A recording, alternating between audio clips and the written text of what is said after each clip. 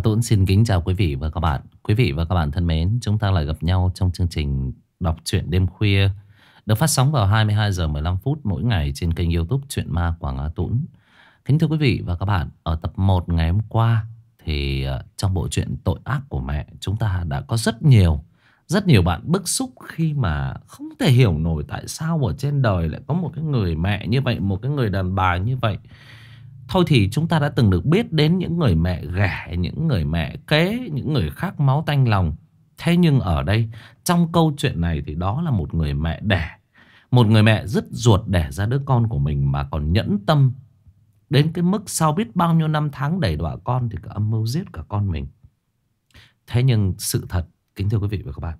Tác giả Huỳnh Khánh Minh là một người bám viết bám rất sát với thực tế xã hội. Chúng ta đã từng thấy những người mẹ như vậy. Chúng ta đã từng thấy những cái vụ án rất thương tâm được đưa lên trên à, công chúng qua báo chí, qua internet. Sự thật là chúng ta đã từng được thấy nó rất rõ ràng. Chứ không phải là điều không thể xảy ra, không phải là điều viển vông. Có những người mẹ nhẫn tâm nhìn người tình của mình sát hại thậm chí là nó đóng đinh vào đầu của con mình nữa cơ. Nó ác đến như vậy. Thế thì cái người mẹ, cái con ả mi trong cái câu chuyện này nó như thế, Nó không phải là điều không thể xảy ra, Nó hoàn toàn có thể. Chúng ta đã thấy rằng là Đứa bé đã phải chịu đau khổ vô cùng. Vậy bây giờ chúng ta sẽ xem xem Là đứa bé đó, Nó sẽ báo oán như thế nào, Nhân quả báo ứng được thực hiện ra sao, Điều gì sẽ đón chờ Con con ả mi Và cả tay tình nhân của ả nữa. Ở tập này, Các bạn à, có thể tương tác trực tiếp với tác giả Huỳnh Khánh Minh Qua nick Facebook mà A Tuấn ghi bình luận ở bên fanpage.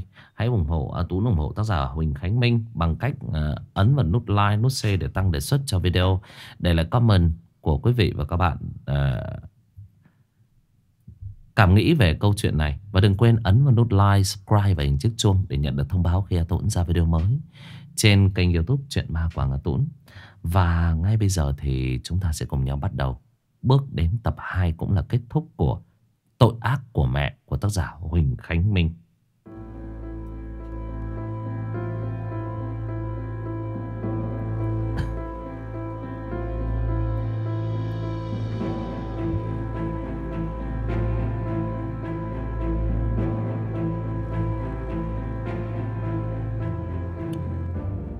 My kể lại toàn bộ những hành vi ác độc man dợ, Lúc giết đứa con ruột của mình cho ông thầy Bảy nghe. Nghe xong thì đến cả ông ta cũng không thể tin được. Người đàn bà trước mặt mình Lại có thể ra tay tàn nhẫn Với đứa con của chính bà ta như vậy. Mặc dù lão thầy bảy lẽ chuyên dùng bùa phép đi hại người, Thế nhưng chỉ khi người ta trả cho lão số tiền lớn, Lão mới chịu ra tay. Lão dùng bùa sai khiến âm binh đã đoạt đi biết bao nhiêu tính mạng người vô tội. Thế nhưng lão luôn cố để cho họ chết một cách êm đẹp nhất rồi nhận tiền. Chứ chưa bao giờ dùng bùa phép của mình giết người một cách tàn bạo đến như vậy. Lão thở dài một tiếng. Ai, Cô quả thật là tàn nhẫn. Tàn nhẫn vô cùng. Đối với con ruột mà cô còn làm như vậy. Tôi cũng từng dùng bùa phép Đoạt mạng người mà còn cảm thấy rồng mình đó. Thế nhưng bây giờ, Nếu như cô muốn Tôi giúp chấn yểm linh hồn của nó lại thì... Đến đây, ả mi đưa ánh mắt lo âu, rồi chắp tay van xin. Xin thầy giúp tôi. Nếu nếu mà thầy không chấn yểm linh hồn nó, thì thì nó lại tìm cách giết tôi mất. Nó giết tôi mất.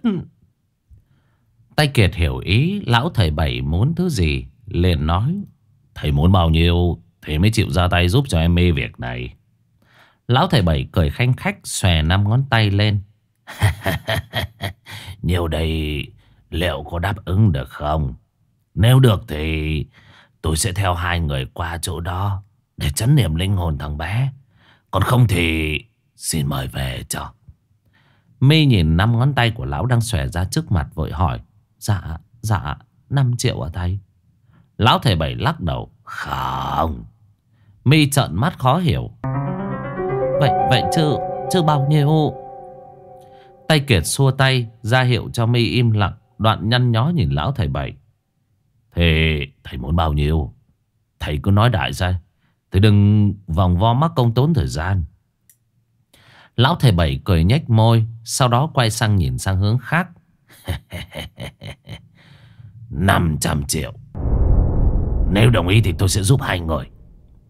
Mi há hốc mồm khi nghe lão thầy bảy đòi số tiền lớn như vậy. Cô ả ấp ống lắp bắp. Cái, cái, cái, cái, cái gì? Chỉ, chỉ có chút chuyện như vậy Mà mà thầy đòi đến tận năm 500 Tay Kiệt cũng hùa theo. À, à, em ấy nói đúng. Chỗ tôi với thầy quen biết nhau từ lâu. Thầy hết giá cao như vậy thì Tụi tôi đi tìm người khác. Thấy My và Kiệt toan định đứng dậy ra về Lão thầy bảy liền kéo Kiệt ngồi lại Giọng cằn nhằn. Hai Hai người các ngươi nôn nóng quá. Có bình tĩnh đi. Ta còn chưa nói xong mà. Thôi Chỗ ta với chú Kiệt là chỗ quen biết. Ta chốt cho 400 Tay Kiệt cười trừ lắc đầu. 350 triệu thì được. Tôi đưa trước cho thầy 200 Khi nào xong việc thì đưa, tôi đưa nốt. Lão thầy bảy cao mày suy nghĩ một lát Đoạn đáp. Ép mà ép quá. Hay Thôi được rồi. Năm xưa tôi nợ chú ơn cứu mạng Trong lúc khó khăn. Bây giờ coi như là tôi trả ơn. Chốt giá 350 Còn bớt nữa là tôi không giúp đâu. My vì sợ lão thời bảy tức giận Một hồi lão đổi ý Cho nên kéo tay Kiệt. Này dạ, dạ, giá đó được không anh? Mình mình còn vòng vo một hồi thì Coi như hôm nay đến đây là công cốc đó. Anh ơi Cái cái cái nhà của em bán á Bán vội chỗ đó cũng có khi cũng được tỷ rưỡi hai tỷ. Mình mình vẫn còn khoản lớn mà. Tay Kiệt thò tay vào túi sách, Lấy ra một bịch màu đen, Đưa tới trước mặt lão thầy bảy. Trong này có vừa đủ 200 Thầy kiểm tra lại xem có đủ không. Còn 150 triệu, Thì xong việc tôi đưa cho. Tôi trước giờ luôn uy tín, Thầy biết mà. Lão thầy bảy mở cái bịch ly lông Ở trước mặt, Nheo mắt nhìn mấy cọc tiền 500 ngàn mới cóng Liếc sơ sơ, Lão nở nụ cười đắc ý. Quay sang thấy tay Kiệt và à mi Đang đứng sớ rớ. Lão cười vui vẻ. Nhìn sơ sơ thì chắc là đủ rồi. Không cần phải kiểm lại. Dù sao thì Cũng là chỗ quen biết không à? Mi hất hàm nhìn lão thời bảy, Đang tít mắt Nhìn mớ tiền ở trong túi. Tiền thì Coi như là chúng tôi đã cọc hơn nửa rồi. Bây giờ Chuyện này quyết định giúp tôi được chưa? Lão thầy bảy lé.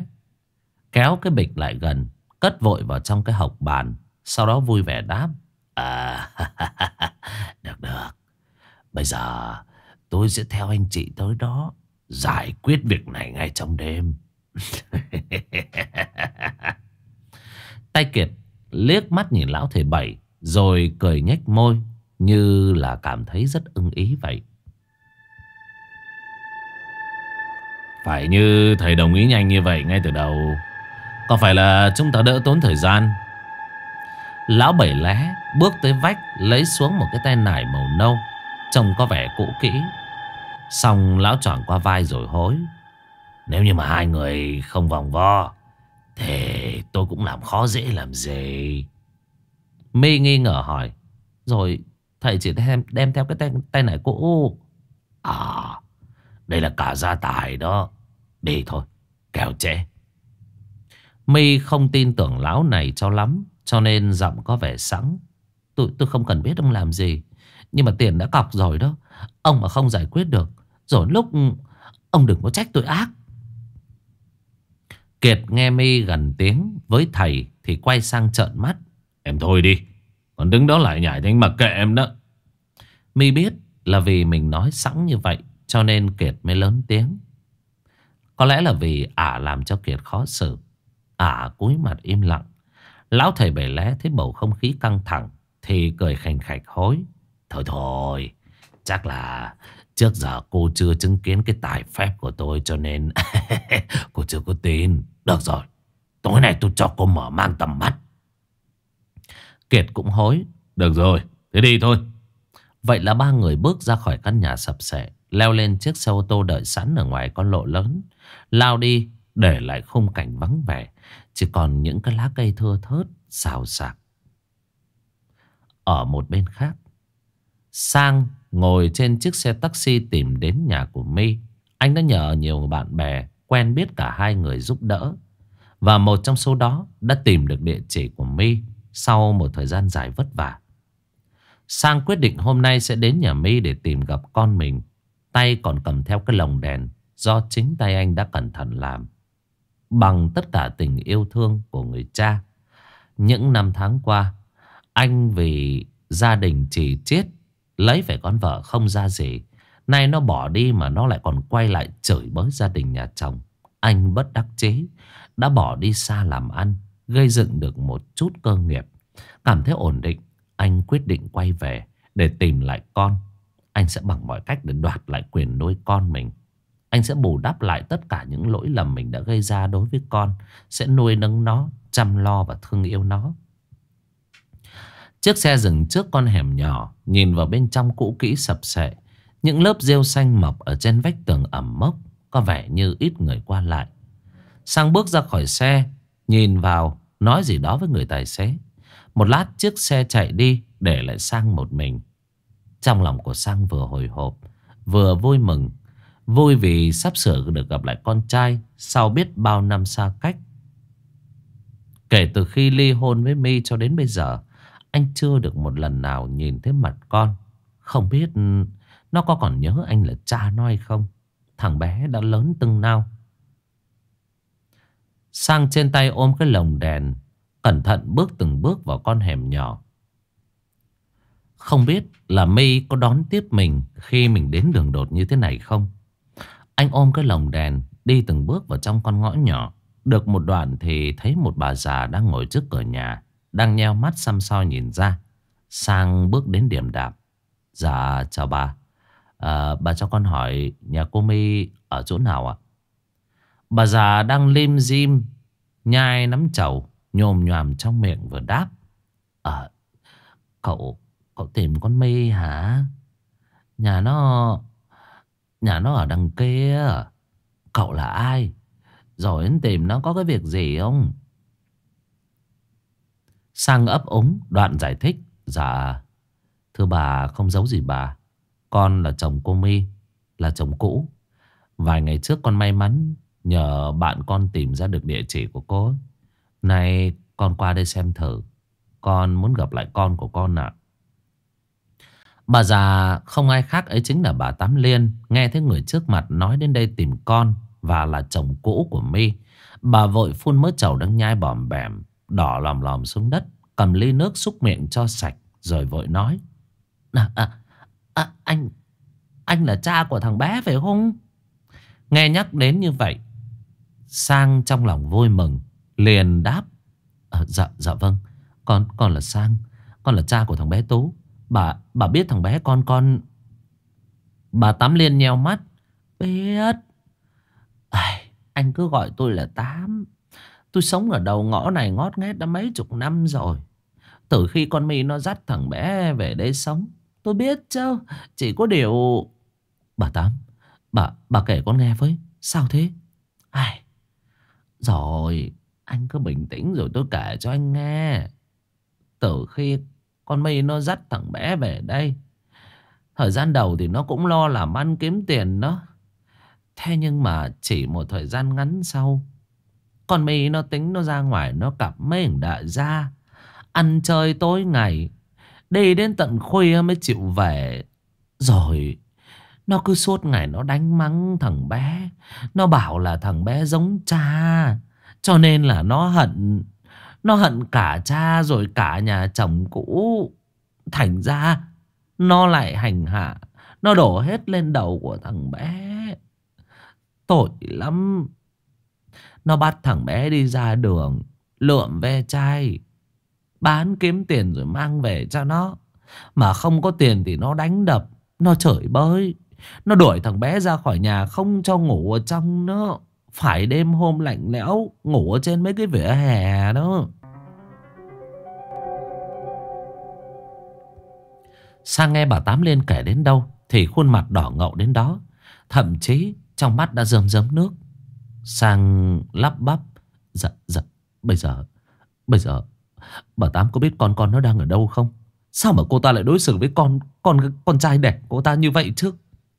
Bà Tám ngán ngẩm Ai, Tôi cũng có khuyên can mấy lần đó mà nó không có chịu nghe.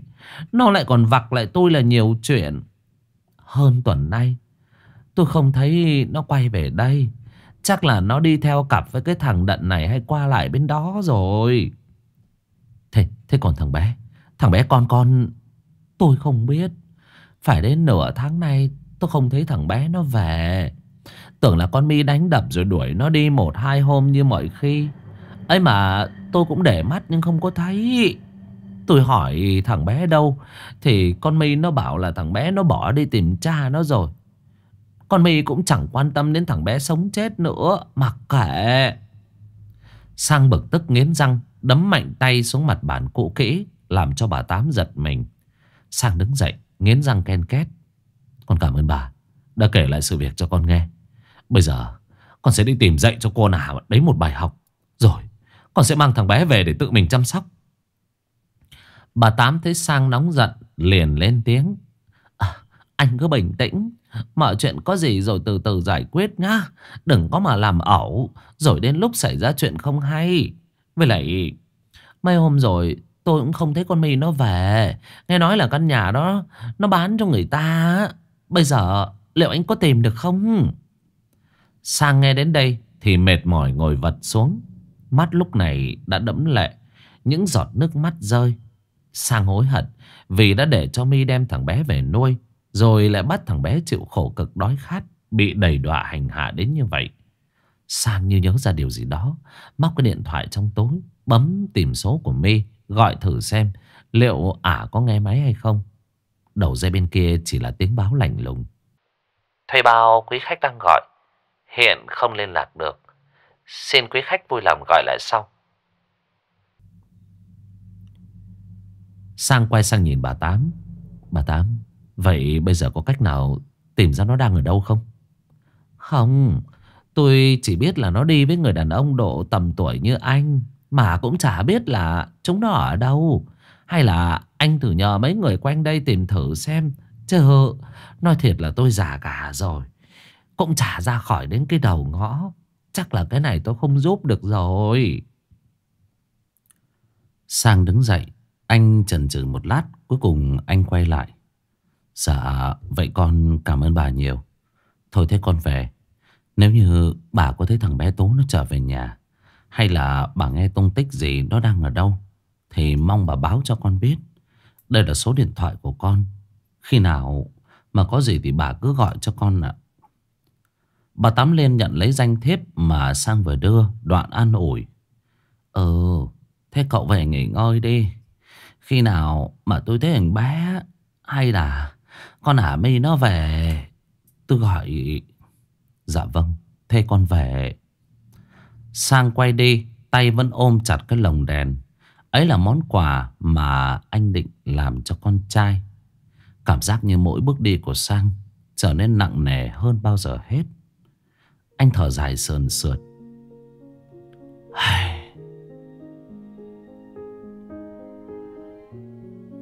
Không may mắn cho Sang là Biết bao nhiêu mong đợi Khi qua đến đây.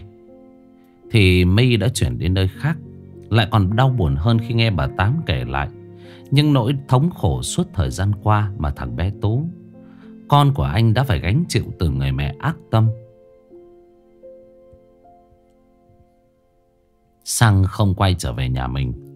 Anh tìm đến một khách sạn ở gần đó, Thuê cho mình một căn phòng Có hướng cửa sổ, Nhìn về phía con hẻm Dẫn vào nhà mi Sang chỉ mong Cho thằng con mình, Nó sẽ được yên bình quay lại đây, Để rồi anh sẽ đón con anh về Chăm lo cho nó.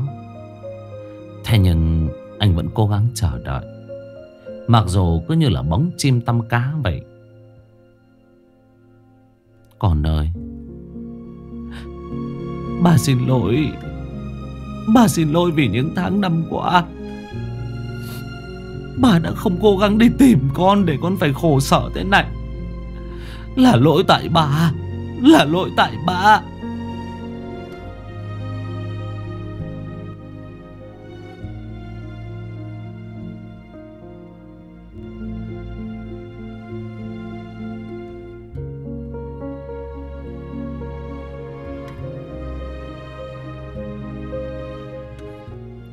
Ở một bãi đất trống cách xa thành phố.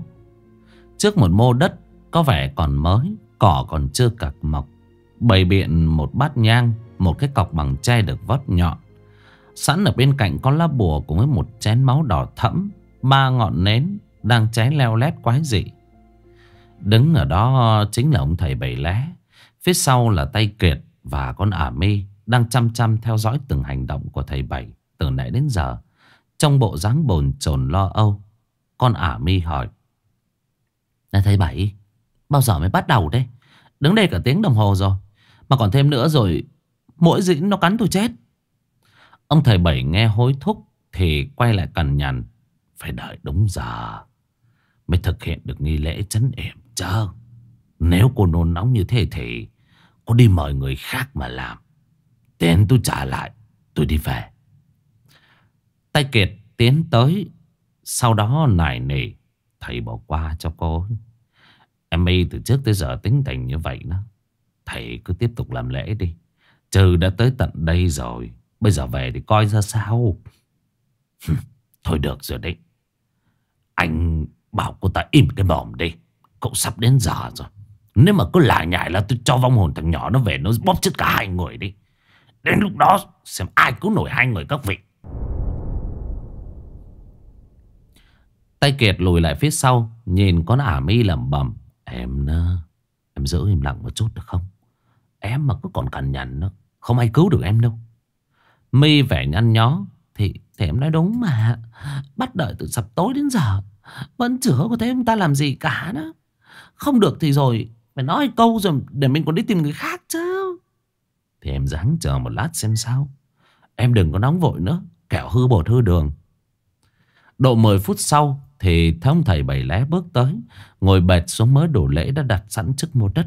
Ông thắp lên ba lén nhang, Cắm ở trước cái lư hương trước mặt. Sau đó, Ông chắp hai tay đan chéo vào nhau, Rồi dì dầm dì dầm Niệm thần chú.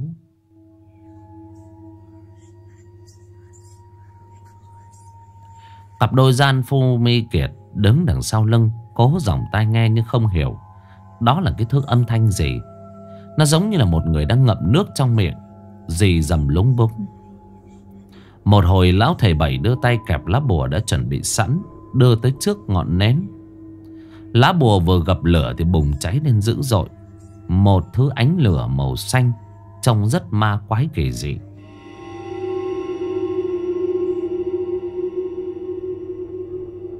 Chỉ trong một loáng, Nó vụt tắt. Gió nổi lên ù ù xung quanh chỗ lão thầy bảy đang ngồi. Đốt xong lá bùa, Lão thầy bảy gọi mây và kiệt Tới đứng đằng sau lưng của mình. Hai người đến đây, Tôi cần giúp. Cả hai đứng chố mắt xem, Nghe tiếng lão thầy bảy gọi. Họ vội vàng chạy tới. Tay kiệt lên tiếng trước Dạ thầy thì cần chúng tôi giúp cái gì vậy?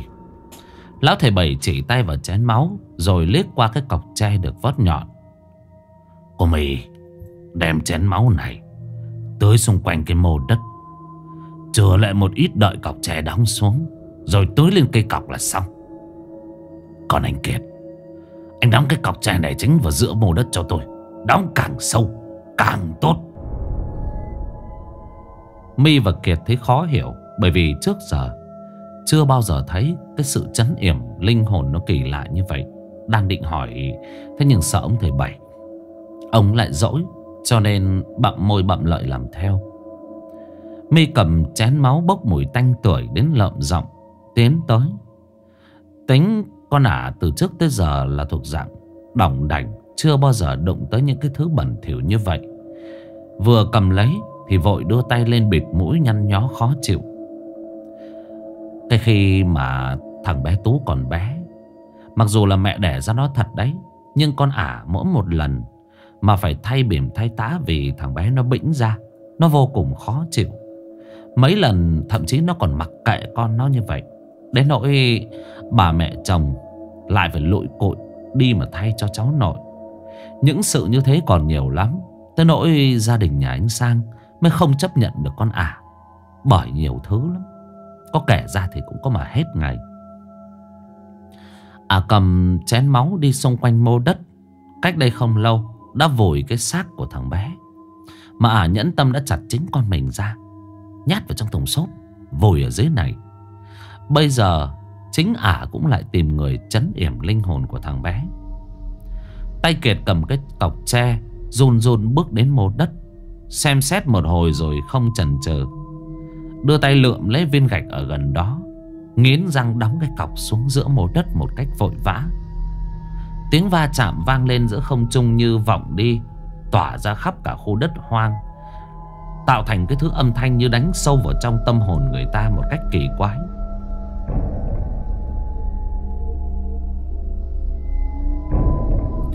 Vì đất còn mới và mềm, Tay Kiệt, cứ thế mà đóng cái cọc xuống một cách nhanh chóng.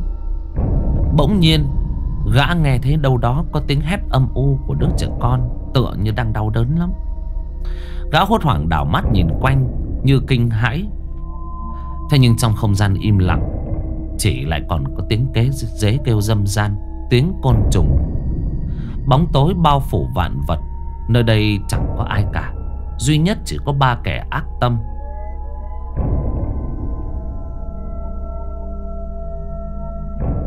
Lão thầy bảy lé, Tay Kiệt và con ả mi đứng nhìn nhau chăm chăm.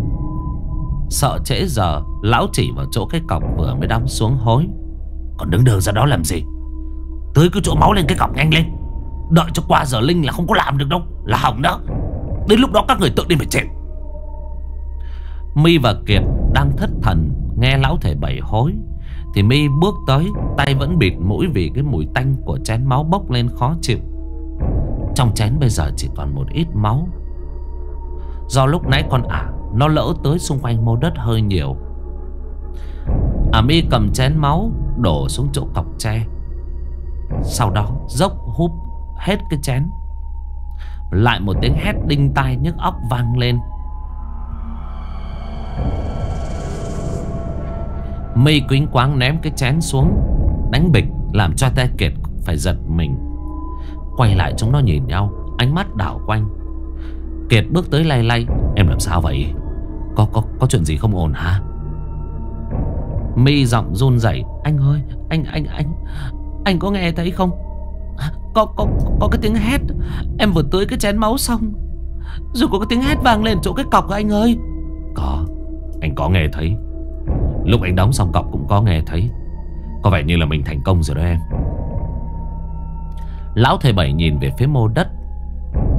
Mà Kiệt và mi vừa làm theo hướng dẫn. Lão gật gù cười nhếch mép, Tựa như mọi chuyện đã thành. Lão vội thu xếp mọi thứ được bày biện Từ nãy đến giờ vào trong tay nải. Bước đến, Cầm lá bùa đưa cho Kiệt.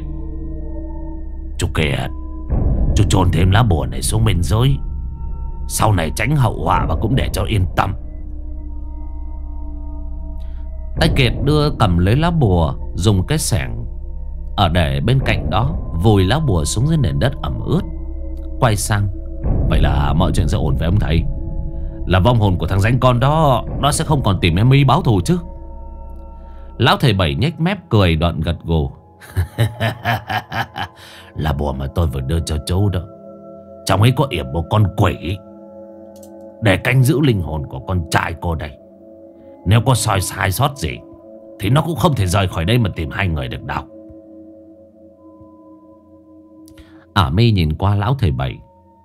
Vậy thầy có chắc chắn Là linh hồn của nó sau này không tìm tôi được nữa không? Nếu không như lời thầy nói, Rồi đến lúc thầy đừng có trách tôi đó.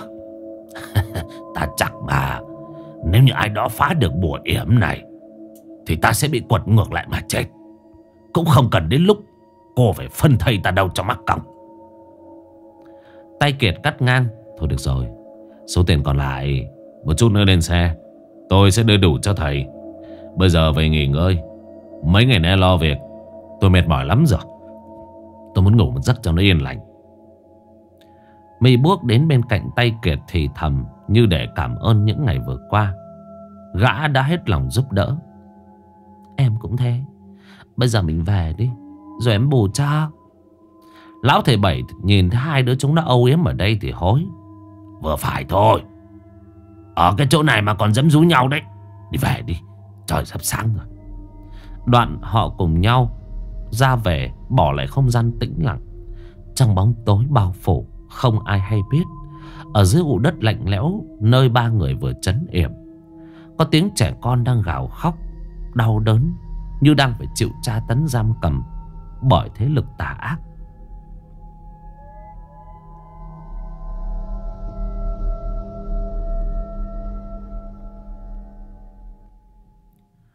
Anh Sang cứ chằn chọc, Rồi lại dậy đi qua đi lại trước khung cửa sổ.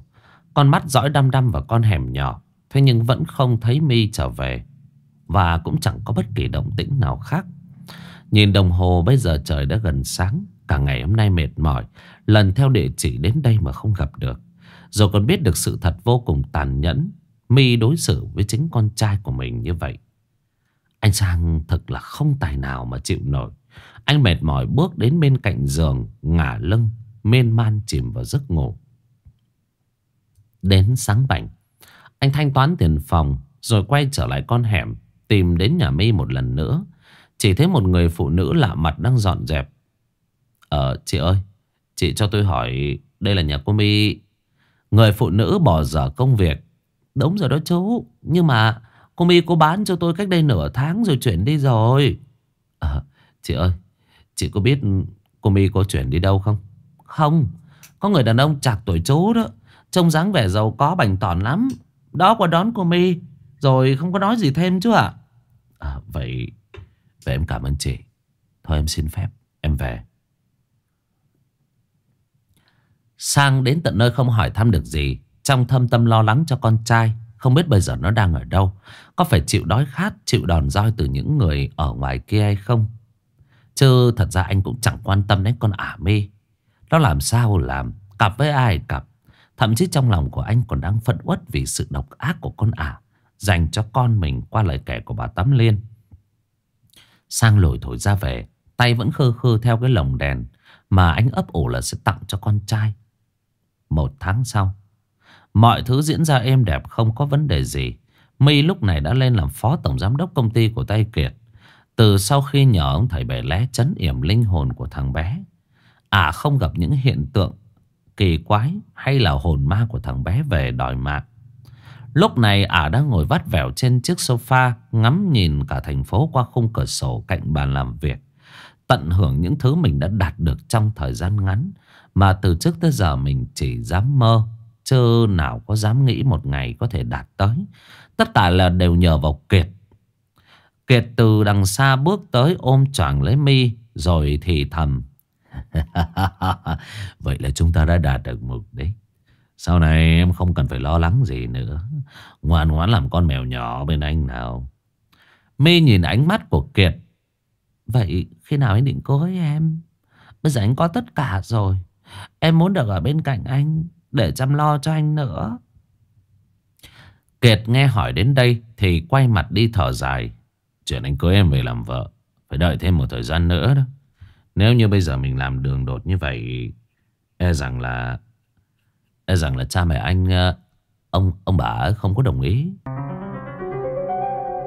Mi nghe Kiệt chưa định chịu cưới mình Thì đứng dậy. Anh đã hứa là sau khi anh có được tất cả, Rồi anh cưới em. Bây giờ anh định ra, anh định sai hẹn. Kiệt đưa tay vuốt vuốt khuôn mặt xinh đẹp của Mi. Thôi Trước sau gì thì em về làm vợ anh. Em đợi được một thời gian rồi. Bây giờ đợi thêm ít thời gian nữa. Đâu có sao. My đứng im lặng đắn đo. Được rồi. Lần sau. Rồi em mà hỏi lại một lần nữa là Đến lúc ấy anh nhất định phải cưới em đó. Anh đừng có hứa lẻo đấy. Anh hứa à, Đến khi Anh bỏ được vợ con Mọi thứ hồ sơ thủ tục rất điểm. Anh sẽ xin cha mẹ Rước em về làm vợ, Làm chính thất. Lần này anh hứa, Anh không nuốt lời. Đoạn cặp đôi gian phu dâm phụ ấy quấn quýt vào nhau, Mà không biết rằng là ở ngoài kia Đang có tai họa ập trời, Chuẩn bị phủ xuống đầu chúng nó. Phủ xuống đầu những cái kẻ Lòng lang dạ sói ác tâm vô cùng.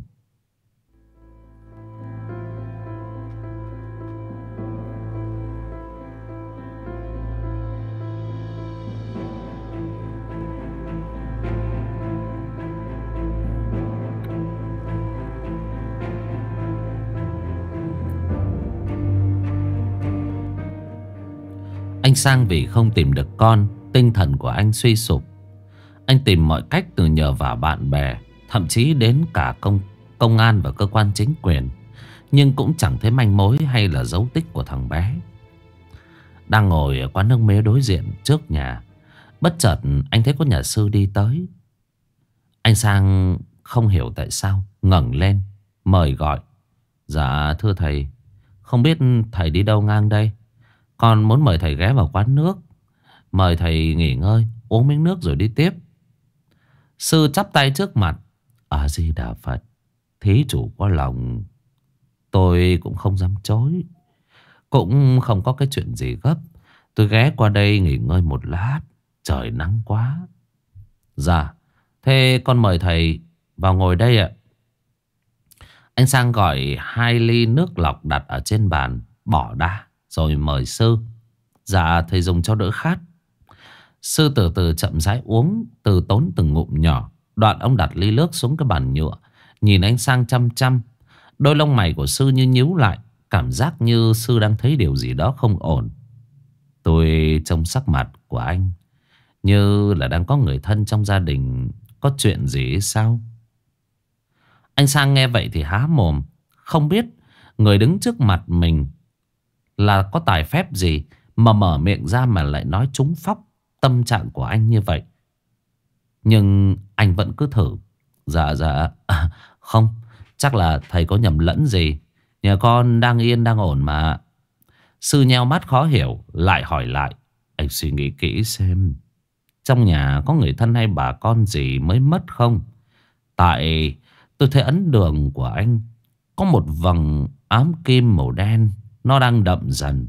Ấy là dấu hiệu của tử trịch kỳ tử trạng, Nhưng không phải là chính tử. Anh Sang suy nghĩ trong đầu lóe lên. Anh nghĩ đến một người. Ấy chính là thằng bé Tú con anh. Thế nhưng anh dùng mình gạt phát đi.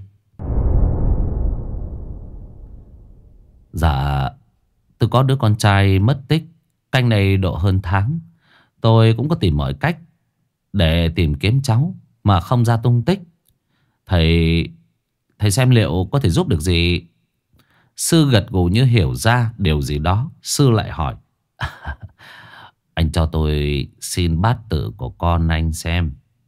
Tôi biết đâu, Lại có thể giúp. Trước đây tôi cũng có học một ít về kinh dịch đấu xấu Để xem xem ít nhất là tính mạng của con anh Nó còn Hay là đã đoạn. Anh sang nhanh chóng đọc bát tự của thằng bé cho sư. Sư đưa tay bấm Rồi trầm ngâm tính toán này nọ. Càng lúc, lông mày của ông càng xoăn tít lại với nhau. Cuối cùng, ông thở dài. Thật thứ cho tôi Tôi phải nói là Là Tên dữ. Anh Sang bất giác rôn rẩy, ngẩng lên nhìn chăm chăm. Còn, con trai của anh, Qua bản tính thì Nó đã chết rồi.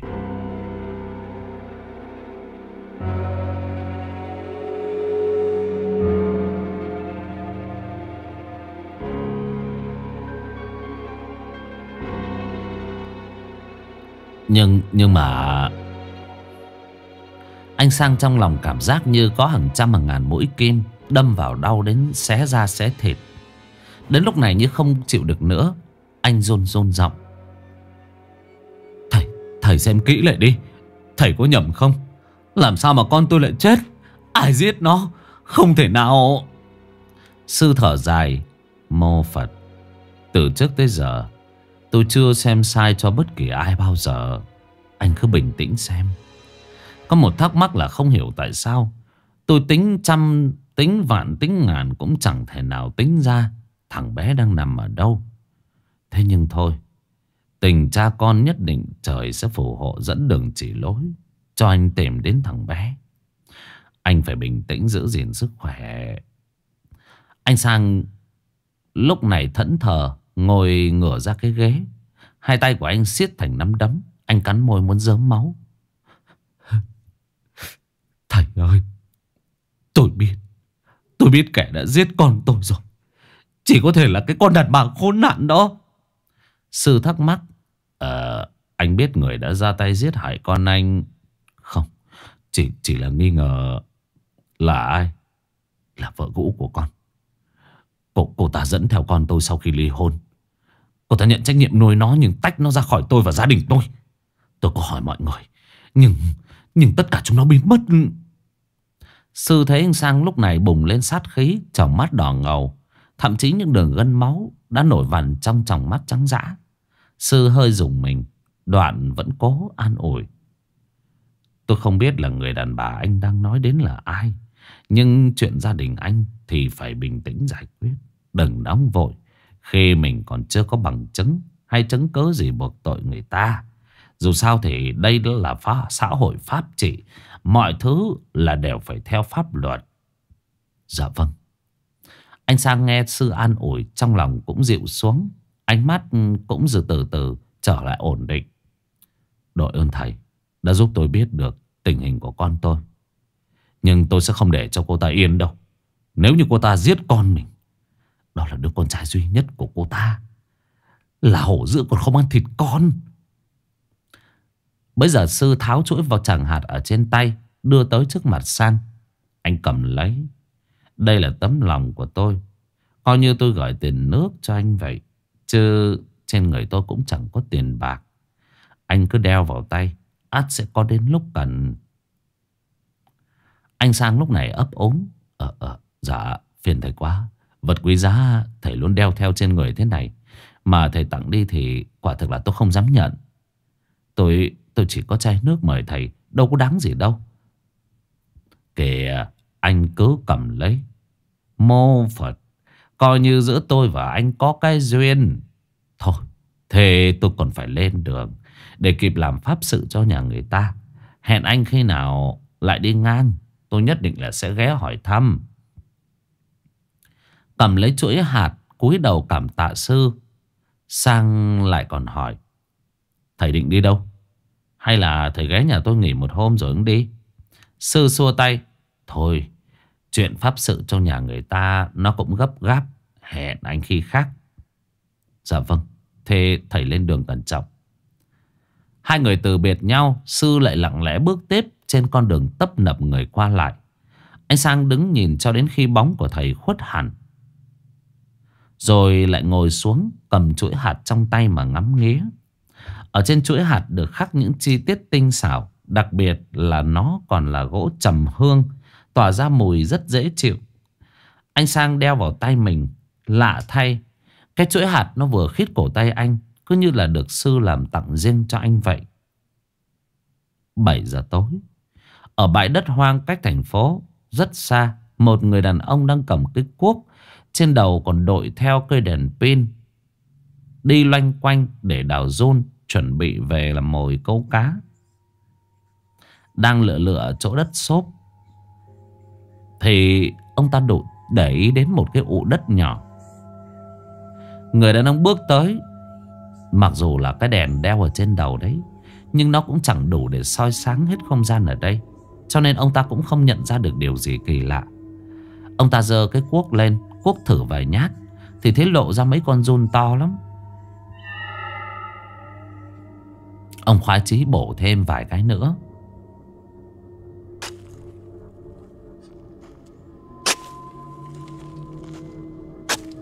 Đột nhiên ông ta dừng lại. Hình như cuốc của ông đụng phải vật gì. Lưỡi cuốc dội lên Người đàn ông giật mình nhìn xuống Là một cái cọc tre To cỡ cổ tay. Cầy ghê đó Ai mà đem cái cọc Cắm ở giữa mô đất thế này?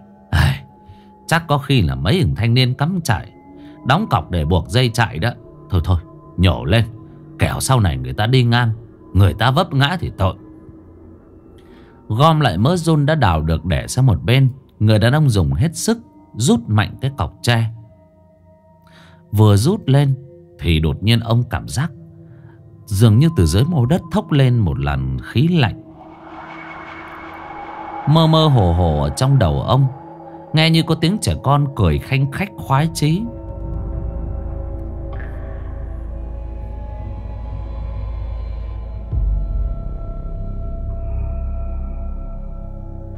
Loáng một cái Người đàn ông vẫn còn đang ngơ ngác Thì một cái bóng đen lù lù xuất hiện Ngay trước mặt ông ta Đứng sừng sững ở trên mô đất Bộ dáng dữ tận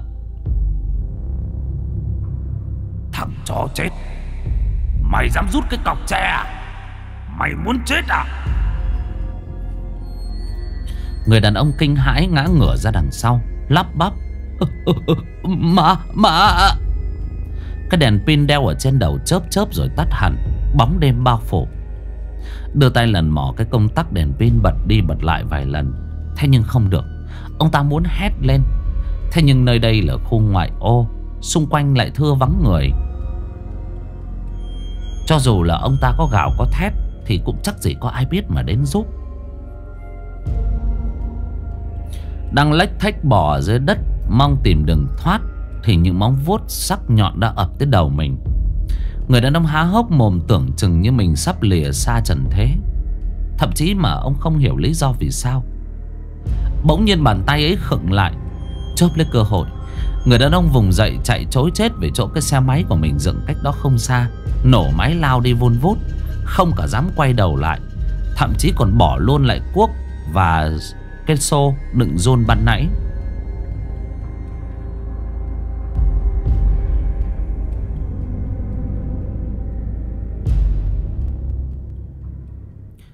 Ở trong căn nhà tối tăm chỉ có ánh đèn điện. Thắp lên đỏ le lói, Lão thầy bảy đang nhắm mắt tĩnh tâm. Bỗng nhiên lão cảm giác như có gì không ổn. Lão mở bừng mắt ra, Sắc mặt nhăn nhó. Có kẻ nào đã phá đi một phần chân yếm của ta? Lão đưa tay bấm độn, Một hồi thở dài. May mà con âm binh mình yểm vào lá bùa trôn xuống kịp chấn áp linh hồn thằng bé. Chứ không nó thoát ra được thì chỉ có mà giải cứu. Lão thầy bảy lẽ đứng dậy móc trong túi ra một lá bùa kỳ lạ. Vừa đốt xong, Lão nhắm mắt niệm chú. Được một lát thì trước mặt lại xuất hiện bóng đen gớm ghiếc. Nhìn lão thầy bảy Thưa thầy Thầy gọi tôi đến có việc. Lão thầy bảy trầm giọng, Ở chỗ cái xác lúc trước mà tao yểm hồn thằng bé, Đứa nào dám to gan đến phá? Thưa thầy, Là một người đàn ông tầm thường Đến khu đất hoang đảo run câu cá. Nó thấy mô đất, Chỗ thầy yểm hồn và cái xác. Nó đảo bới một hồi, Chạm vào cái cọc. Nó nhổ lên. Tôi định ra tay giết nó luôn, Mà chưa có giảng lệnh của thầy. Cho nên, Âm binh dưới trướng như tôi Cũng chỉ dám dọa một trận. Lại thêm nữa, Còn phải phân ra. Âm khí để khống chế hồn thằng bé. Thì Người đàn ông kia đã chạy mất rồi, Nhưng chắc là nó không dám bén mảng tới nữa. Thầy bảy lé thở dài Khi nghe âm binh trình bày lại sự việc, Trong lòng yên tâm hơn. Được rồi, Quay trở lại canh chừng linh hồn của thằng danh con đó đi. Bùa yểm của ta đã bị phá một phần rồi, Nó mà chạy trốn Thì nhốt sống linh hồn nó cho ta. Vâng thưa thầy. Cái bóng quỷ dị lắc mình, Sau đó tan biến, Để lại không gian u ám. Ánh đèn đỏ ké chiếu lên khuôn mặt đang nhăn nhó Của lão thầy bảy. Lão đang lo về một tai vạ Có thể ập tới bất kỳ lúc nào. Bên kia, Anh Sang nằm gác vắt tay lên chán Nghĩ về câu chuyện của bà Tám lên kể Ở nhà cũ của mẹ con mê những lời khi nghe xong Mà thậm chí anh chẳng muốn tin, Ấy là sự thật. Hai bên khóe mắt lúc này chảy xuống hai dòng lệ xót xa. Anh đã cố tìm mọi cách Để tìm tin tức về đứa con trai. Thế nhưng chỉ vô vọng, Ngay cả đến xác cũng không thấy, không biết, Không thấy ở đâu đang nằm lạnh lẽo trốn nào. Anh cứ vẩn vơ suy nghĩ Cho đến khi mệt mỏi, Anh chìm vào giấc ngủ. Trong cơn mơ anh sang nhìn thấy một đứa bé Trông rất kháu khỉnh Chạy tới trước mặt mình. Trông nó quen lắm. Anh nhìn vào đứa bé được một hồi Chợt nhận ra không ai khác Ấy chính là con anh thằng Tú Anh sang lắp bắp Tú Tú ơi Có, có phải là con không Tú Con vẫn sống phải không Tú Tú ơi Con nói cho cha nghe đi. Nhưng lời mà cha nghe được không phải là sự thật phải không Tú ơi? Tú ơi! Đứa bé không đáp Mà chỉ đứng đó nhìn anh Sang Nghiêng nghiêng đầu mỉm cười. Nụ cười hồn nhiên.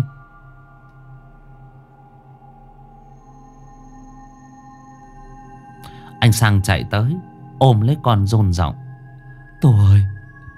Con, con có làm sao không? Có ai ăn hiếp hay đánh đập con không? Tú nghe cha hỏi Nó cúi gằm mặt xuống.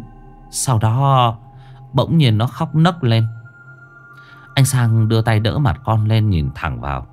Con đừng khóc, Con làm sao thế? Sao con không trả lời cha? Thằng bé càng lúc khóc càng to, Đột nhiên cả cơ thể của thằng bé Dã ra từng mảng từng mảng, Trông rất ghê rợn.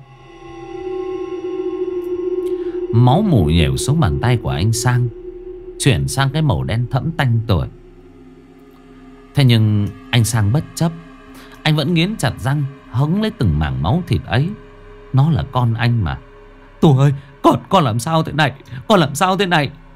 Trong phút chốc Cơ thể của thằng bé Nhẻo xuống thành một đống nằm bê bết. Cái đầu của thằng bé từ từ lăn xuống dưới chân của anh Sang. Anh Sang rôn rôn Đưa tay quờ tới. Thì cái đầu ấy chỉ còn là một mảng thịt lùng bùng Trông hết sức ghê rợn. Anh kinh hãi lùi về phía sau. Tú ơi, Con làm sao thế? Con đừng có dọa cha. Ấy thế mà chỉ loáng một cái, Thằng bé lại trở lại bình thường, Lành lặn. Bấy giờ, Nó mới đứng ở xa xa, U buồn nhìn anh Sang. Cha ơi, Con bị người ta hãm hại chết rồi cha ơi. Anh Sang lắp bắp, Ai? Ai giết con? Con nói cha nghe. Cha sẽ bắt nó phải đền tội. Là Đúng lúc ấy thì một bóng đen, Cặp mắt đỏ ngầu, Từ trong bóng tối lao vụt ra túm lấy thằng bé Tú. Lôi đi. Chỉ nghe tiếng thằng bé hét lên rồi im bặt. Không, Trả lại con cho tôi, Trả lại con cho tôi, Con ơi! Không gian trở lại yên tĩnh Một cách đáng sợ. Anh Sang định chạy đi tìm thằng bé. Thế nhưng đúng lúc anh cũng chẳng tỉnh. Mồ hôi lấm tấm ở trên trán. Anh mở mắt nhìn quanh, Thì thấy anh vẫn đang ở trong phòng của mình. Tất cả những gì vừa xảy ra Chỉ là một cơn ác mộng. Bước xuống giường tới bên cạnh bàn rót một ly nước, Uống một hơi để chấn tĩnh đầu óc. Anh suy nghĩ toàn bộ sự việc vừa xảy ra.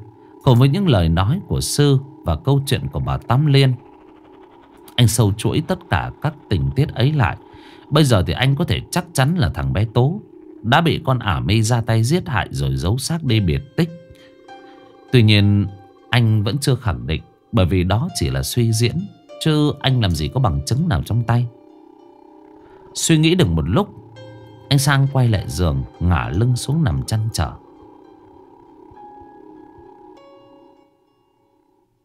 Ngày hôm nay, Có một trận bão lớn đi ngang qua thành phố.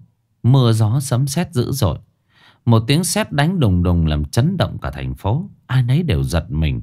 Thậm chí có những khu nhà, cửa kính còn vỡ tan tành. Ở mô đất hoang, Nơi mà Ả mi và tay kiệt chôn xác của thằng bé, Che giấu tội ác, Đã có một lỗ thủng lớn. Mặc dù trời mưa to Thế vậy mà khói vẫn bốc lên nghi ngút.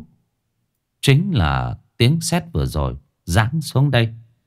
Ở giữa, một lá bùa đã bị Đánh bốc cháy thành cho Kèm theo nước mưa đang hòa quyện vào đất cát.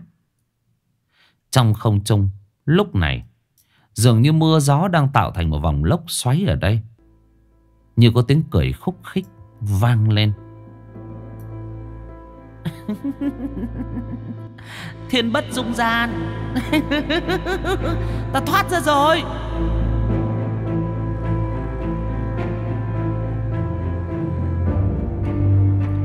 Ở trong một ngôi chùa nhỏ. Vị sư ngẩng mặt nhìn lên trời, Quan sát tinh tượng. Ông thở dài. A-di-đà Phật, Thiên bất dung gian. A-di-đà Phật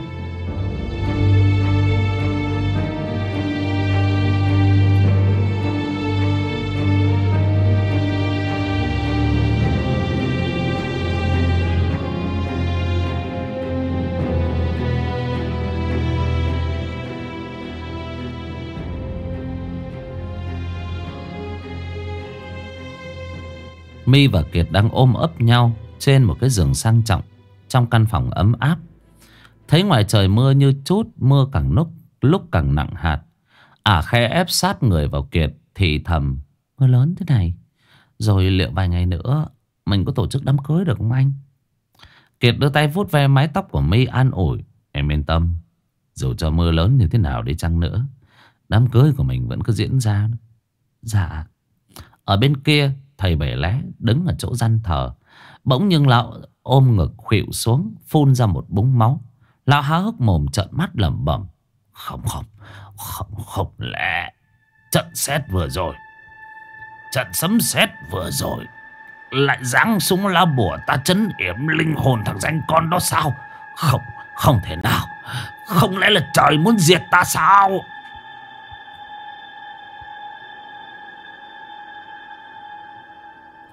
Cơ thể của thầy bảy lé run lên bẩn bật, Như cố lết từng chút ra phía cánh cửa.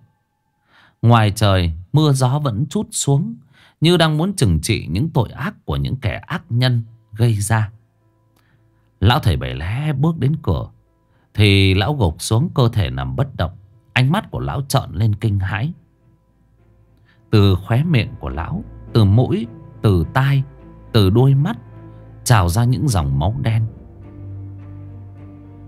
Lão chết Vì chính bùa chấn của lão Một khi bị phá giải. Liên kết giữa cõi tâm linh tính mạng của lão Cũng phải đi theo. Luồng sáng lóe thẳng lên bầu trời trực tiếp đánh vào căn nhà của lão thầy bảy lé, Tiêu dụi toàn bộ trong tích tắc. Tất cả chìm vào trong biển lửa. Vậy là lão thầy bảy lé Phải trả cái giá bằng cả tính mạng của mình Khi lão dùng bùa phép Bây giờ bị quật ngược.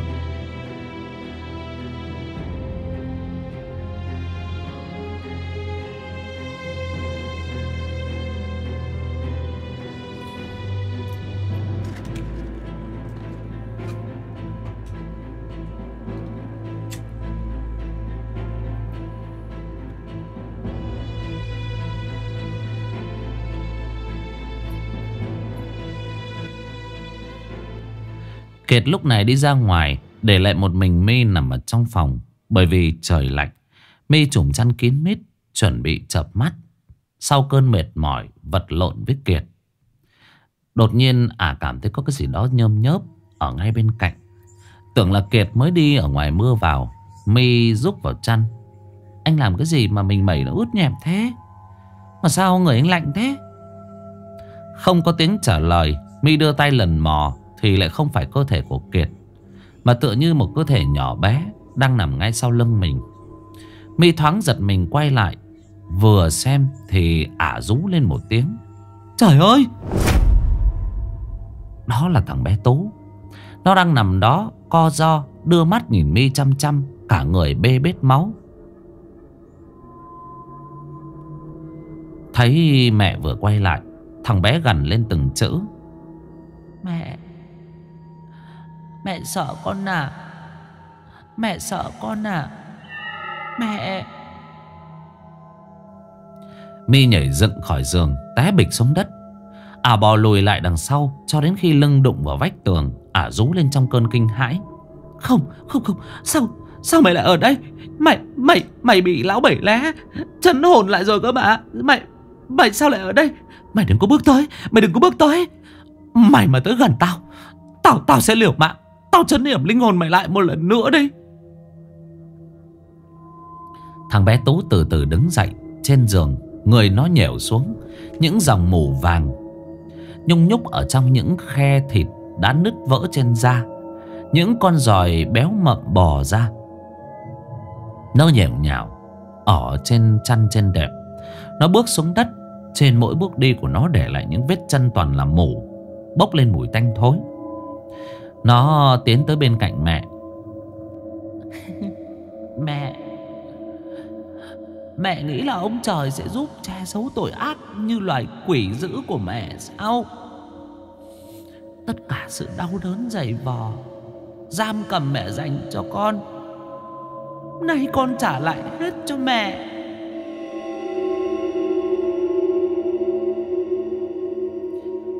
Mi đưa tay, lần mò hằng tìm kiếm một vật gì đó để tự vệ. Nhưng hai bên xung quanh chỉ là vách tường, Không có gì để cho ả bấu víu. My kinh hãi, Không, Mày mày cút đi, Mày là con quái vật. Kiệt ơi, Cứu em, Kiệt ơi. Mẹ cứ la hét đi. Mẹ la hét lớn lên. Để xem, Ông ta cứu mẹ bằng cách nào? Mẹ. Thằng bé từ từ thò tay vào trong ổ bụng Nhèo nhào móc ra một nắm giỏi Nó đưa tay bóp miệng của con ả mi Tống thẳng cái nắm ấy vào miệng. Mẹ ăn đi. Ngon lắm. Ăn đi mẹ. Ăn đi.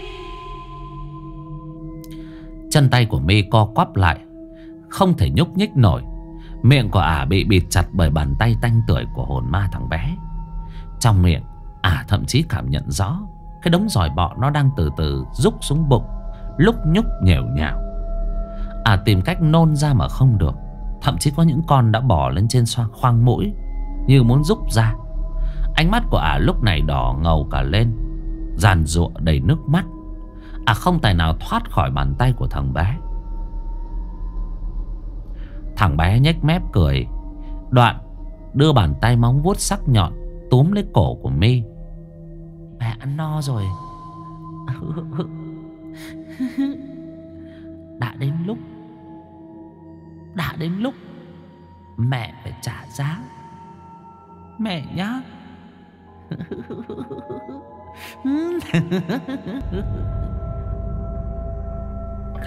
Đôi mắt của thằng bé đỏ ngầu. Trọn lên. Không Không, Con ơi Con ơi Con ơi, không không.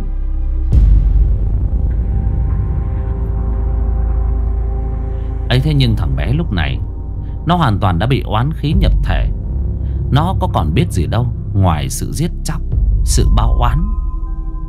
Bàn tay của nó Đã bùng lên một thứ âm khí ghê rợn Đang ập tới. Không Không, Con ơi, không. A-di-đà Phật, Thiện tai Thiện tai.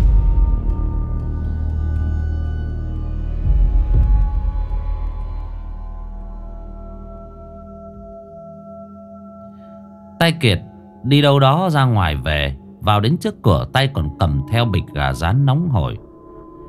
Gã gõ gõ cửa. My ơi! Em dậy chưa? Anh mới ra ngoài mua gà rán mà em thích nè. Ra lấy ăn à, Rồi để nguội nó mất ngon mi ơi. Đưa tay gõ cửa vài lần, Nhưng bên trong im bặt, Không có tiếng trả lời. Kiệt dám chắc, My vẫn còn đang ngủ. Gã từ từ Mở chốt bước vào. Cánh cửa phòng vừa mở, Thì gã đứng sững lại. Trước mặt Kiệt, Gã thấy mi đang ngồi tựa lưng vào vách tường. Hình như Là mi mi bị làm sao đó. Trong cái bóng tối Mờ mờ ảo ảo, Gã bất chợt dùng mình, Thấy ổ bụng của mi Bị xé banh cả ra, Trông hết sức ghê giận Trời ơi, mi ơi mi ơi! Đầu của ả ngoẹo sang một bên, Trên cổ còn bị một đoạn ruột quấn chẳng chịt, Khuôn mặt đã tím tái. Ánh mắt trận ngược tựa như trước khi chết, Ả đã nhìn thấy điều gì rất đáng sợ.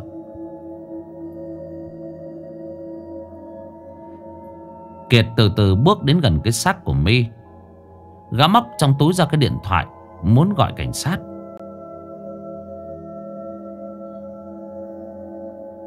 Ấy thế nhưng Điện thoại của gã lại không thể nào liên lạc được. Kiệt run lẩy bẩy Trời ơi Trời trời ơi! Thế, thế, thế này là thế nào? Thế, thế này là thế nào? Sao lại thế này? Mì ơi em ơi! Trong giây lát Bỗng nhiên Kiệt cảm giác đầu óc của mình quay cuồng. Gã dùng mình một cái Đến khi gã cúi xuống nhìn Lại thêm một điều kinh hoàng nữa diễn ra. Bàn tay của gã từ bao giờ đôi bàn tay của gã đầm đìa là những máu? Trời, thế, thế này là thế nào? Kiệt kinh hoàng lùi lại. Gã nhận ra Trong tay của gã không phải là đang cầm bịch gà rán Mà đang cầm hai lá gan của mi Nhẻo nhảo không không không không.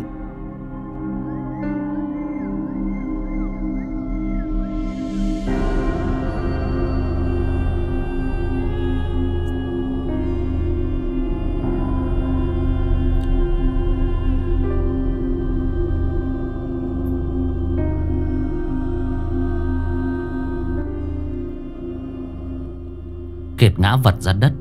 Gã cố ném hai lá gan Về phía của mi trong một loáng, Gã lại dùng mình, Nhìn xuống hai bàn tay của gã lại không có gì cả. Mọi thứ trong đầu của gã trở nên mụ mị. Ở ngoài kia mưa gió sấm chớp Vẫn cứ đùng đoàn Lập lòe. Ánh chớp chiếu vào trong căn phòng sọi lên cái bóng của gã hết sức ghê rợn. Không lâu sau, công an đã đến hiện trường thu thập chứng cứ trên xác của My. Người ta cũng chưa tạm thời chưa tìm được dấu vết hung thủ để lại. Kiệt đứng thất thần nhìn xác của My đang phủ tấm chăn chỉ chừa lại khuôn mặt. Với đôi mắt vẫn đang trợn trừng do mảnh vải phủ xệ xuống. Công an có lấy khai, lời khai từ Kiệt nhưng cũng không tìm được thông tin gì hữu ích. Kiệt như kẻ mất hồn. Gã chỉ lẩm bẩm hẳn là phải có thứ gì đó đã giết mi một cách tàn bạo và khủng khiếp. Tin đồn về cái chết kỳ lạ của My nhanh chóng được lan truyền trên khắp các trang báo và mạng xã hội. Sang ngồi lướt xem tin tức trên điện thoại thì vô tình thấy nạn nhân của một vụ sát hại. Anh tò mò mở ra xem thì giật mình. Khuôn mặt ấy chính là My. Anh lập tức chăm chú đọc hết toàn bộ thông tin và nhìn thấy một người đàn ông tên là Kiệt. Cũng chính là chồng sắp cưới của My cũng được đăng tải thông tin. Sang không chần chừ bấm số, gọi ngay lập tức. Alo, Ai đây Nghe giọng nói Sang cảm thấy có điều gì là lạ. Anh có phải là Kiệt Chồng sắp cưới của cô My không? Đầu dây bên kia Kiệt hơi ấp úng. Sao Sao anh lại biết tôi? Bởi vì My là vợ cũ của tôi. Con trai của tôi đâu? Hai người giết đó rồi phải không? Kiệt im lặng một lát Rồi vờ như không biết. Còn, còn anh là ai? Tôi tôi không biết. Anh anh đừng có vụ án giáo họa. Coi chừng tôi đâm đơn kiện anh đó. Còn My My là vợ cũ của anh, tôi cũng không cần biết. Cô ta chết rồi. Anh có muốn nhận xác thì đến mà nhận, Còn không thì thôi. Tôi lo hậu sự cho cô ta. Anh muốn thắp cho cô ta nén nhang. Thì tôi gửi địa chỉ cho, Chào anh. Đang định nói thêm gì đó, Nhưng Kiệt đã tắt máy. Tiếng tin nhắn điện thoại vang lên Địa chỉ vừa được gửi qua. Sang nhìn vào vòng tin, dòng tin nhắn. Định qua đó thắp cho mi nén nhang tiễn biệt. Nhưng suy đi nghĩ lại, Anh thôi. Anh chẳng muốn dính dáng gì đến họ nữa. Dặn lòng đợi mọi chuyện ổn thỏa, Anh sẽ gọi Kiệt ra nói chuyện. Sau khi lo tang sự của mi xong, Kiệt lúc này đã mệt rã rời, Không hề chú ý đến xung quanh. Bước tới bên cạnh giường ngả lưng, Nhưng chưa kịp chập mắt, Thì trên trần nhà, Một cái thứ chất lỏng ghê rợn nhèo xuống, Mùi rất tanh. Kiệt miệng lầm bầm Quái lạ, Nhà mình Nhà mình đâu có rột nhỉ? Đưa tay sở thử Kiệt há hốc mồm. Là máu, Lẫn với mủ, Tanh ngòm ngòm. Kiệt mở chừng mắt, Thì ở trên trần nhà Là khuôn mặt của thằng bé Tố. Nó đang bám vào cái quạt trần Tòn ten như con nhện nhẹ, Quay xuống nhìn gã. Một đường cắt trên cổ của thằng bé đang nhèo xuống, Bốc mùi tanh tuổi đến lợm giọng. Kiệt muốn trồm dậy, Chỉ là cơ thể bất động không nhúc nhích. Thằng bé Tú cười khanh khách giọng âm u. Ông muốn che giấu tội ác của mình đến bao giờ ông Kiệt? Ông Kiệt! Ánh mắt của Kiệt kinh hãi. Sao, sao mày biết được? Sao mày biết mà đến đây? Mày, mày!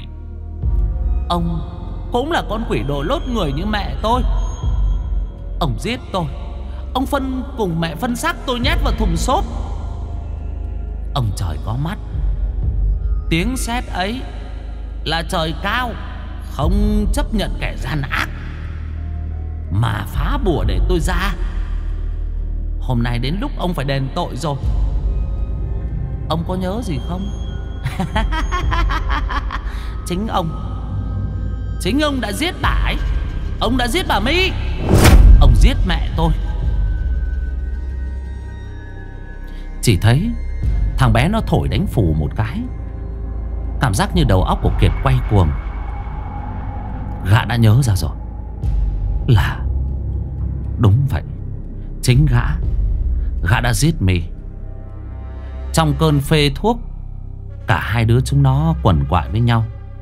Rồi bất giác, Kiệt lại thấy Mi biến thành một cái thứ yêu ma quỷ quái ghê giận Một cái bóng đen lù lù đứng ở ngay bên cạnh. Mà nhìn cái bóng đen này Kiệt nhận ra, Chính là giống hệt như cái hình bùa quỷ Được vẽ mà lão thầy Bảy Lé hay dùng. Đây chính là cái bùa quỷ Mà thầy Bảy Lé dùng để bắt hồn thằng bé. Không lẽ Tiếng thằng bé Tú vẫn cứ lanh lảnh vang lên? Ấy chính là quỷ của lão thầy Bảy. Ngay khi các người yểm phép tôi là các người đã tự tạo thành mối liên kết. Không cần tôi phải động đến. Tất cả các người Đều phải tự mà giết nhau mà chết. Vì bùa yểm đã kết nối các người lại với nhau. Đúng là thiên bất dung gian. Thiên bất dung gian. Thiên bất dung gian.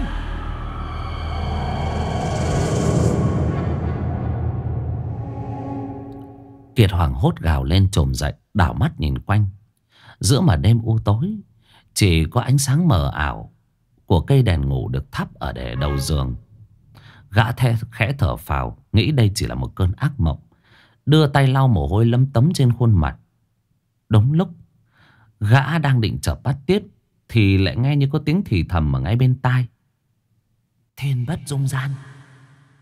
Thiên bất dung gian. Kiệt bàng hoàng giáo giác ngó quanh. Mày, mày Thằng danh con, Mày ở đâu? Tao Tao sẽ tìm thời bể lẽ đánh cho mày tan hồn lạc phách. Mày Thế nhưng, Chẳng còn tiếng trả lời Kiệt.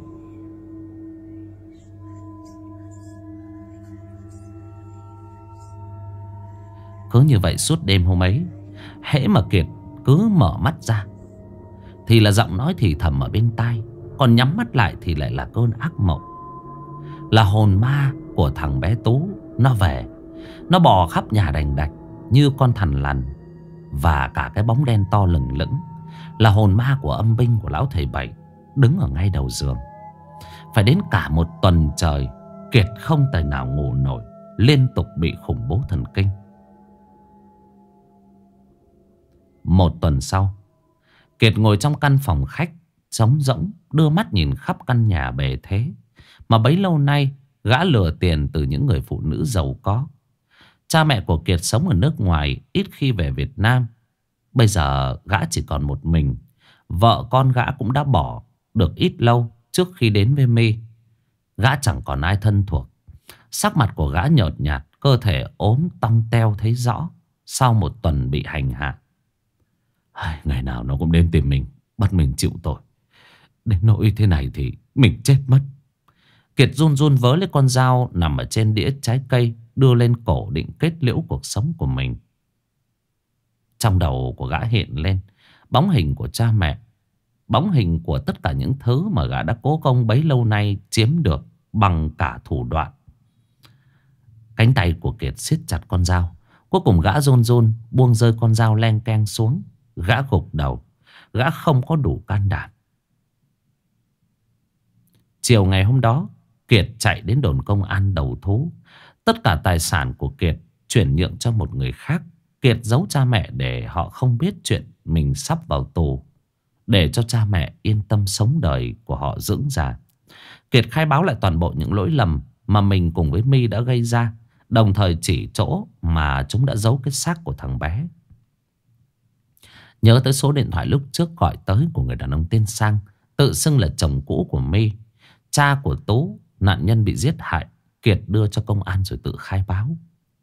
Người ta lập tức liên lạc với số điện thoại ấy. Chào anh. Anh là Sang Là cha của bé Tú.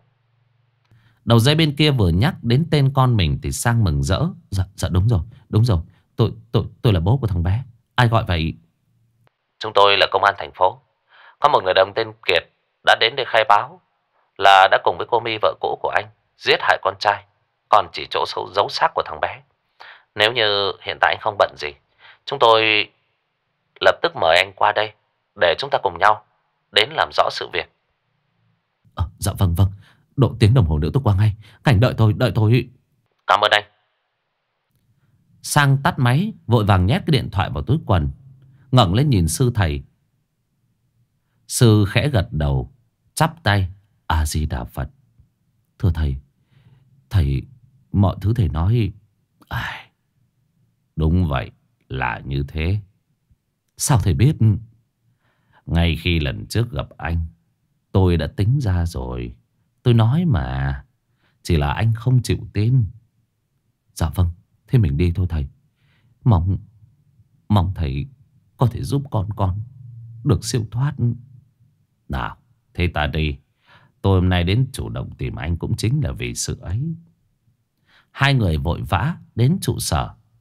Chỉ độ nửa giờ sau Hai người đã ngồi đối diện với Kiệt. Kiệt kể lại tất cả sự tàn nhẫn của mình Đã che giấu bấy lâu Cuối cùng gã run run ôm đầu. Tôi, tôi, tôi bị ám ảnh. Tôi, tôi bị ám ảnh Tôi không thoát ra được. Tôi không thoát ra được. Mày, tại sao mày làm như thế hả Kiệt? Nó chỉ là một đứa bé. Tại sao mày làm như thế hả Kiệt? Sang như muốn nổi điên trồm dậy.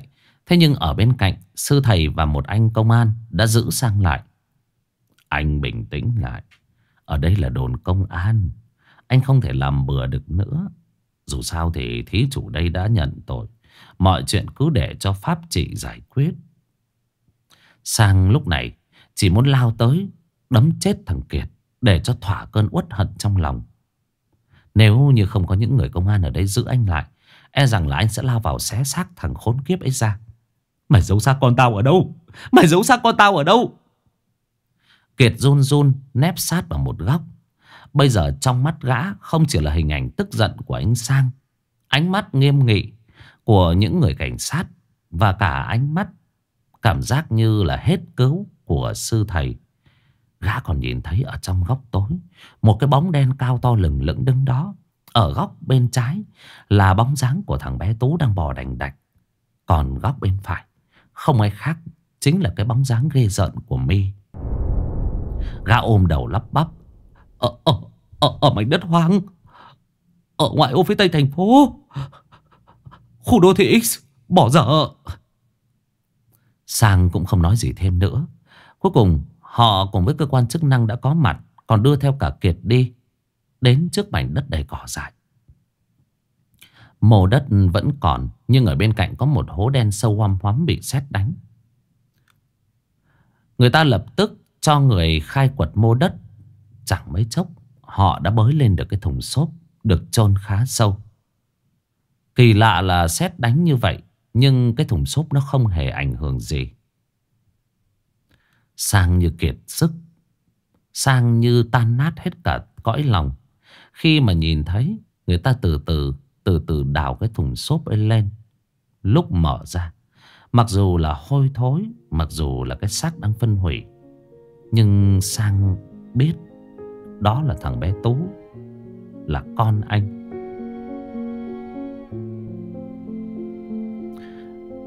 Chỉ thấy ở một bên, Sư thầy chắp tay, Cúi xuống dì dầm, Đọc kinh chú.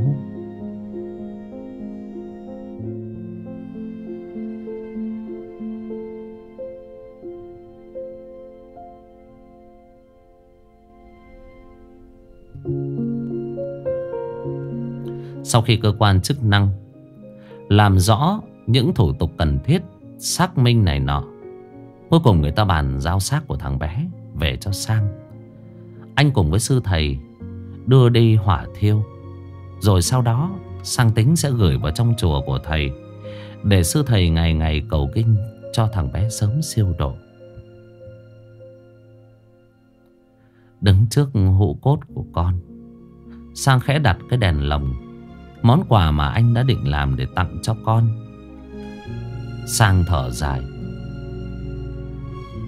Dù sao thì, Trong mọi chuyện xảy ra, Vẫn có một phần lỗi của anh. Cha mẹ dù cho có hết yêu thương nhau, Thì cũng xin đừng làm tổn thương con cái.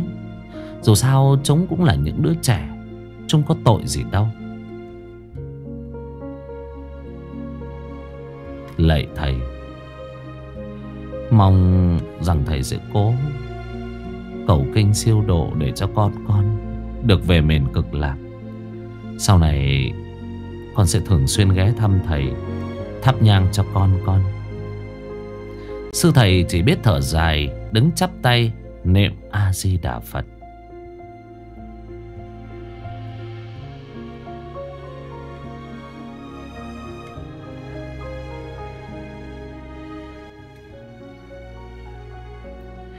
Kiệt bị kết án trung thân. Bây giờ, Gã sống mà thậm chí như đã chết. Bởi lẽ án tù tội là một chuyện, Nhưng có thứ còn ám ảnh gã hơn nhiều. Trong bóng tối của căn buồng biệt giam, Gã luôn luôn bị khủng bố. Lần này thì không phải là bởi linh hồn của thằng bé, Mà là chính linh hồn của mi Cùng với cái bóng cao to lừng lững đen xì xì Xuất hiện mỗi đêm trong căn buồng ấy, lâu lâu người ta nghe thấy tiếng gào thét. Tựa như là Kiệt gặp phải điều gì rất đáng sợ. Thỉnh thoảng, khi mà nhìn thấy có chiến sĩ cảnh sát đi qua. Kiệt đập tay rầm rầm vào cửa sắt. Kiệt gào lên. Cảnh ơi! Cảnh ơi! Tôi khai! Tôi khai thêm thông tin. là tôi. Là tôi giết cô My. Trong cơn phê thuốc tôi giết cô My đấy. Chính là tôi đã ra tay giết cô My.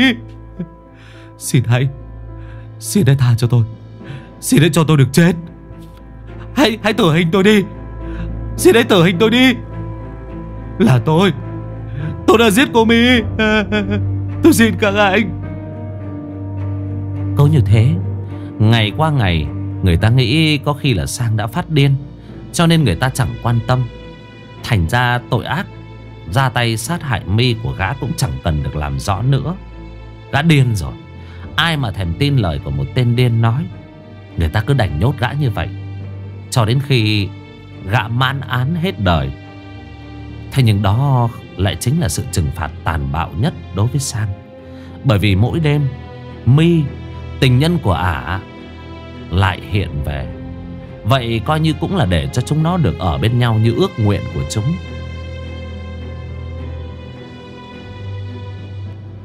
Năm tháng trôi qua Nỗi đau rồi cũng sẽ phải vơi đi, Nhưng vẫn còn lại những vết sẹo trong lòng. Sang cũng trở lại cuộc sống bình thường. Anh làm ăn phất lên như diều gặp gió. Anh mở một công ty in ấn bao bì sản phẩm. Sang cũng quyết định đi thêm bước nữa. Anh kết hôn với một người phụ nữ xinh đẹp, Biết cách chăm lo cho gia đình. Không lâu sau, hai người sinh được một đứa bé trai dễ thương mũm mĩm. Ngày đỡ con từ trên tay của bác sĩ hộ sinh Sang sững người. Anh rôn rôn Sao Sao lại giống như thế? Vợ Sang đang mệt mỏi Mới sinh nằm ở trên giường Quay sang thều thào. Giống cái gì vậy anh? Sang vội vàng xua tay mỉm cười. À không à, Anh nói là, là nó giống anh đó. À. Cô cũng mỉm cười hạnh phúc Nắm chặt lấy tay chồng. Sang vẫn cứ nhìn chăm chăm vào thằng bé. Thằng bé trắng trẻo bụ bẫm. Nó đang ngủ, Khóe môi của nó hình như còn vén lên một nụ cười hạnh phúc. Nó giống hệt như thằng bé Tú. Nó giống lắm. Sang khẽ ôm con vào lòng, Một giọt nước mắt chảy xuống. Có lẽ đúng như sư thầy nói, Khi con người ta có duyên Thì con người ta khắc tự tìm đến với nhau.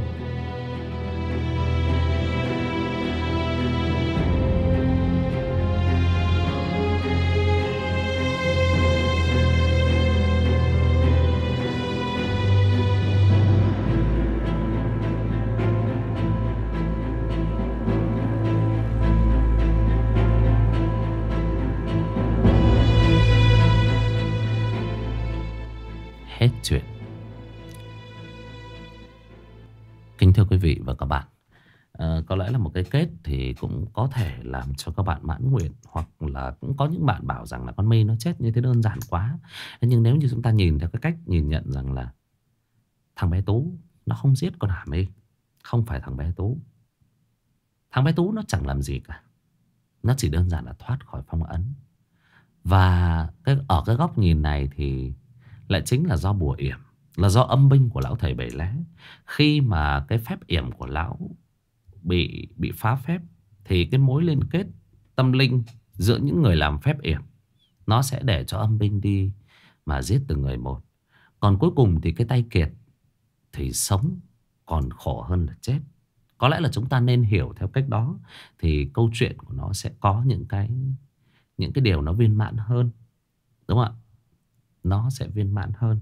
À, thật ra thì đúng như là anh Sang anh nói. Dù gì trong tất cả mọi chuyện anh cũng có có phần lỗi. Giá như giá như lúc đó anh quyết liệt hơn trong việc tìm đến con, giá như là anh tìm đến con anh sớm hơn thì mọi thứ nó cũng không đến nỗi nào. Thế nhưng mà cuộc đời mà Nó chẳng bao giờ có cái chữ giá như nào cả Nếu mà có giá như thì có lẽ là cuộc sống này của chúng ta Nó đã quá tốt đẹp Nó đã quá dịu dàng Với tất cả mọi người Cái gì cũng thế sự đã qua rồi thì chẳng thể nào cứu vãn lại được. Thế cho nên là Cái thông điệp mà tác giả muốn gửi đến chúng ta rằng là à, Khi còn sống Khi con người ta còn đang sống Thì cố gắng Sống cho cho hết tâm hết dạ. Đừng để đến khi mà sự việc nó trôi qua rồi Thì có hối cũng chẳng kịp. Cái thứ hai nữa là Người làm cha làm mẹ Khi đã đã hết tình hết nghĩa với nhau. Thật ra thì trong cái xã hội hiện đại này Thì cái cái việc mà Mà người ta ờ, Đến với nhau sau đó lại lại chia tay nhau Thì tôi nói thật lòng chúng ta phải nhìn nhận vào thực tế. Ở xã hội này bây giờ nó không hiếm Mà dần dần nó trở thành bình thường Đúng không ạ? Thế nhưng những người làm cha làm mẹ làm ơn khi mà chúng ta đưa ra bất kỳ một cái quyết định nào thì hãy nghĩ đến những đứa con của mình một chút. À, những cái những cái tổn thương mà các anh các chị gây ra cho nhau rồi đến một lúc nào đó, các anh các chị sẽ tìm được một cái nửa nào đó khác, sẽ bù đắp lại. Thế nhưng những cái tổn thương mà những đứa bé phải chịu thì có lẽ là chẳng ai có thể bù đắp được Chẳng ai cả Đó mới là cái điều mà mà cái thông điệp lớn tác giả muốn truyền đạt tới. Một lần nữa, xin cảm ơn tác giả Huỳnh Khánh Minh. Xin cảm ơn quý vị và các bạn đã chú ý theo dõi. Xin chào và hẹn gặp lại.